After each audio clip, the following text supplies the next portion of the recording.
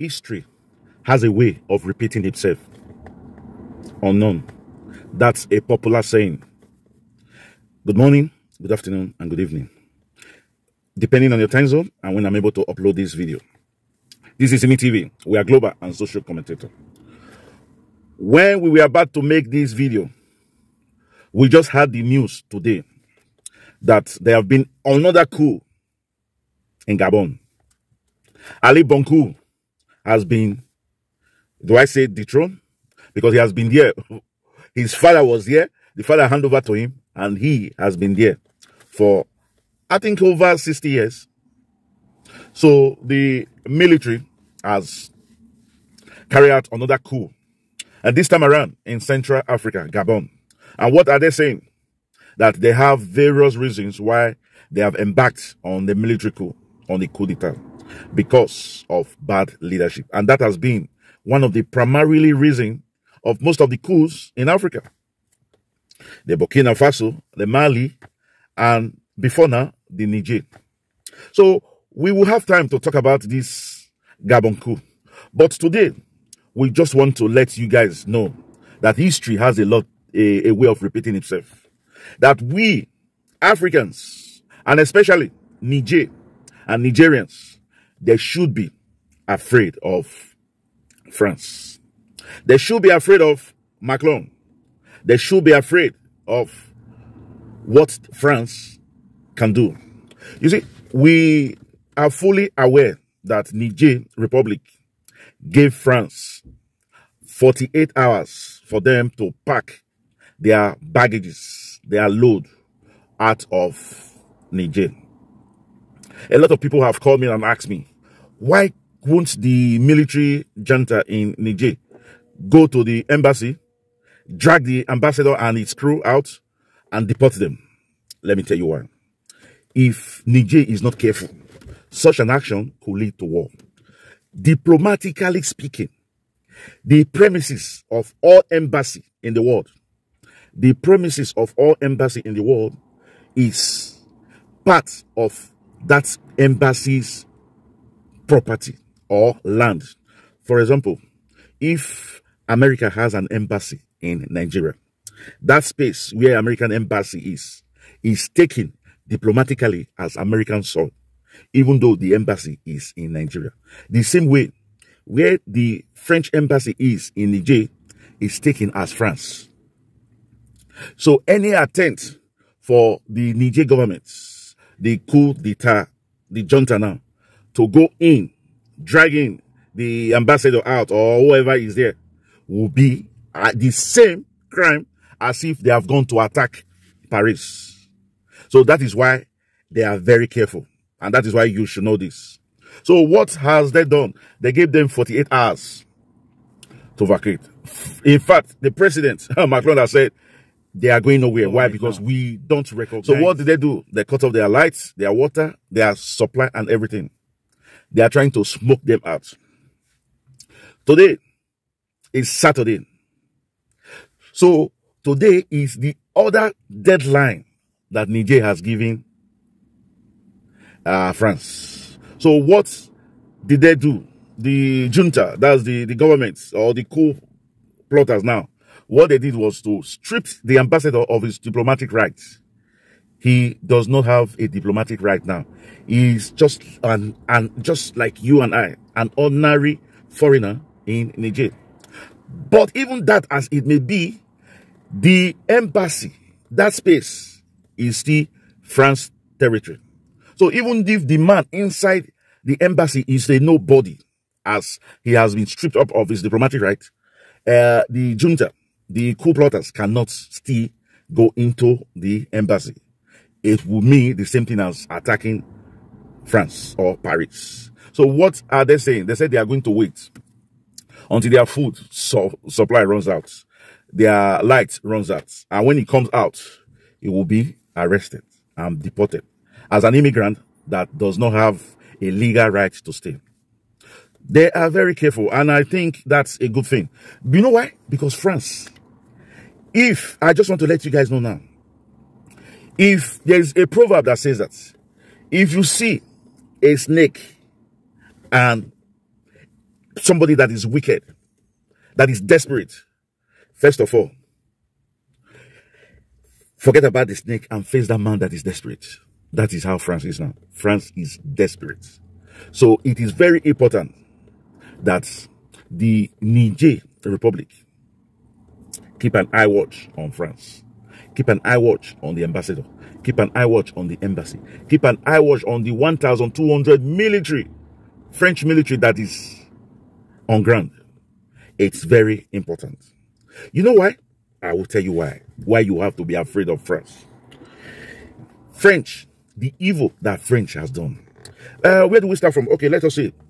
France. Do you know that France also have a colonial influence in Vietnam? They do. They also have it in Cambodia. And they also have in a country called Laos. You know, and when these people revolted against the French government, that they don't want France, they want to be independent, they want to be a sovereign state. You know what France do?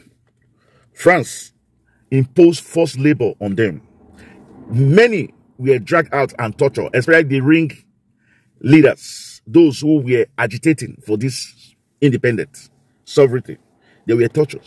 And chemical weapons were also used. That is French. to tell you how ah. wicked. Chemical weapons were also used. Do you know that even in Algeria, France is also the colonial master for Algeria? They did the same thing. Forced them to pay heavy tax. Forced them to be involved in labor. Torture those who were who they tag as enemy of the states and use chemical weapon. They also did it in Tunisia. Now let's come back to colony in Africa. Do you know that it is very important that I let you guys know this? Do you know that in 1958, that was when most countries in Africa were agitating that they want to be free. France used the CFA, the French franc, to subjugate, to tie these countries down.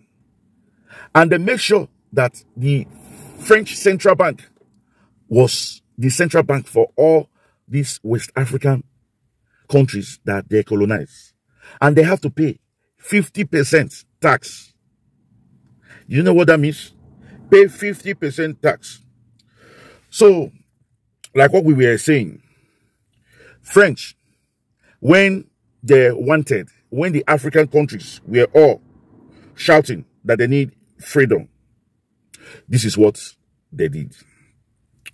They now call all the French speaking countries and said they want to do a referendum for them. And what was the referendum? the referendum was what I would call the devil's treaty. Yes, the devil's treaty. And the referendum was either you choose you don't want to be independent, or you choose you want to be independent with France acting, giving you conditions in terms of your economic policies. They were involved. So do you know that when a, a, a, a, the, a country's might is determined by the economy? So when France is controlling your economy, even if you are politically independent, you're still not independent. This is exactly what they did in, in Cote d'Ivoire.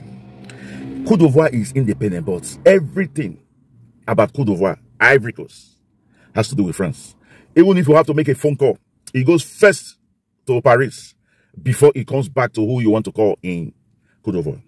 So when they set up this referendum for the colony, either you said no, you don't want a referendum, you want France to continue, or yes, the referendum is yes, we want France to continue, but we want France to also still be the political and economic center of the country.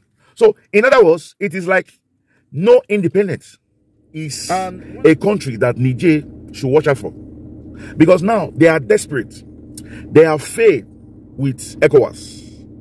ECOWAS wanted to really go and invade a military intervention. But because of some certain things that is going on, ECOWAS don't want to see themselves like the aggressor, as if they have not negotiated before the military action. So that was why they went to negotiate. And according to what the junta said, they are ready to leave. They didn't come for to be the ruling or the core, the the the cabinets. No, they only came and they needed three years to be able to arrange everything and put the country on a democratic line again. So it looks as if some countries are buying to their excuse, and France is angry with that. So France has called America and NATO, NATO that they should get involved. So, but it's difficult for this EU, NATO, and America to just get involved in another man's sovereign land, uh, to just carry their military and invade. They are also afraid because there are some African countries that is opposed. So this is going to be a very difficult decision. And that is why the EU and NATO are a little bit skeptical. But France now is angry with NATO. But why should NATO attack Niger when Niger has not attacked any member of NATO? Because according to the NATO law, any member that is at war, others will have to join. This is where the Nigerians, the junta have to be very careful. And this is why France is telling them that they are not moving their embassy. They want to provoke the junta, the Niger government, to do some drastic action against the diplomat, against the embassy, so that they will say, we have been attacked. So this is an opportunity for us to fight back. And don't forget, they have about 8,200 military personnel in Niger. Everywhere they go in Africa, they always put their base there. Why? Because they use this base to to mani manipulate the government in power. They will come that they are fighting terrorists, that these people are there for peace. And in most cases, they are the or originators of these terrorists. For example, we've heard that they have gone to support a terrorist group in Niger. They want that group to fight against the government, to destabilize the country. They want that group to destabilize the country so that when there is chaos, they now go in. Exactly uh, what NATO, EU did with Gaddafi.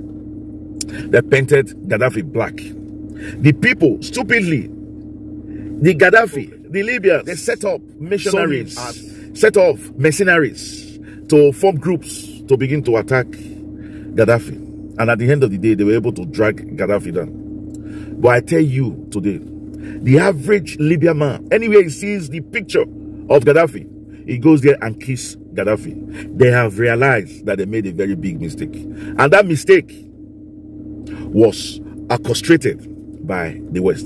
And that is exactly what we think they want to do with Niger. They are just looking for opportunity. And that is why we are making this video. That Niger should be very careful they have to be very patient, just as what they are doing now. Smoke them out.